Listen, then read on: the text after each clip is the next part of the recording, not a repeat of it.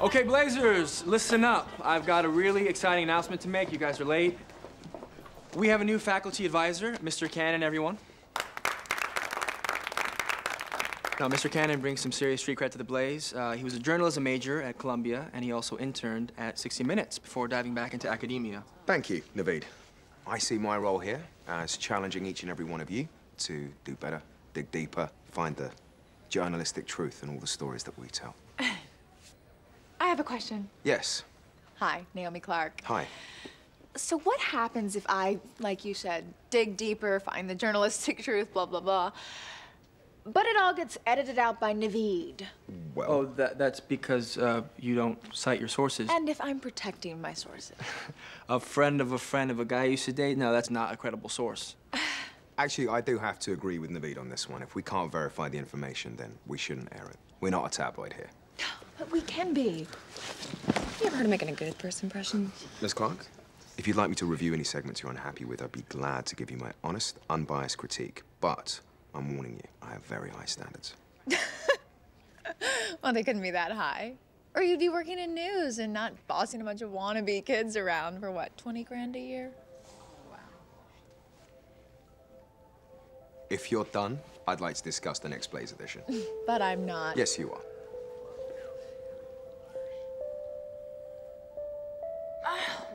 Why do we even need some stupid faculty advisor watching over our every move? Oh my god, it's like 1984 all over again. Ugh, I hope not. I look horrible in shoulder pads and a perm.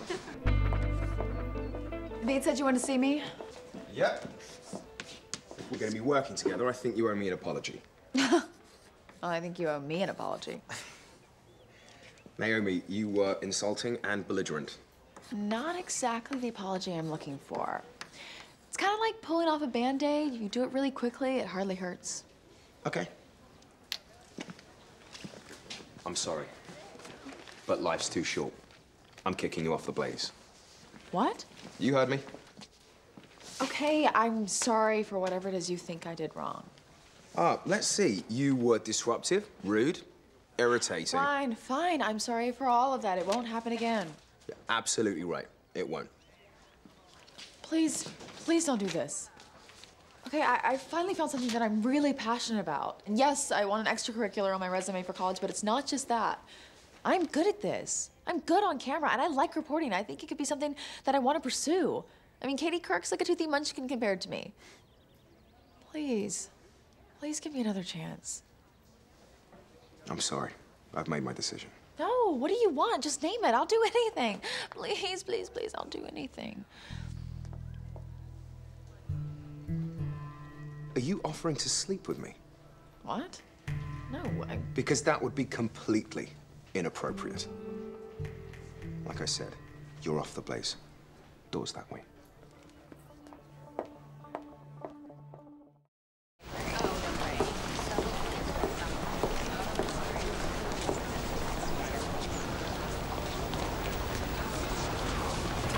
Why are you doing this? You know nothing happened.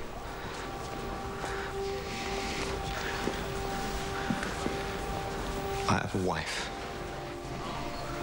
Why are you ruining my life? Hey! What the hell are you doing? Come on.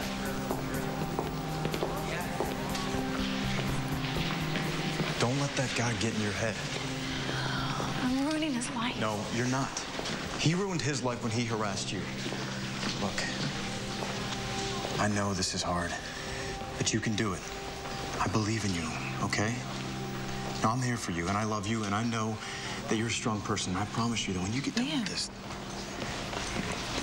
You just said you love me. yeah, I did. I guess I know where your loyalty lies. Uh, Lila. Whatever. Out of here.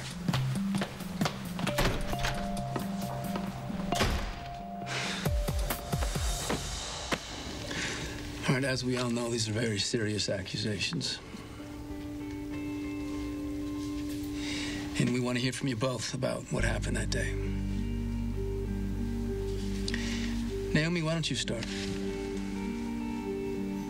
Well, I went to Mr. Cannon's classroom because he wanted to speak to me. And I was alone with him.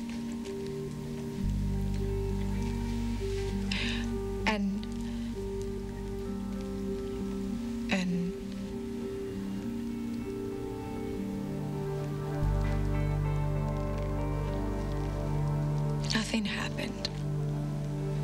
I lied. What?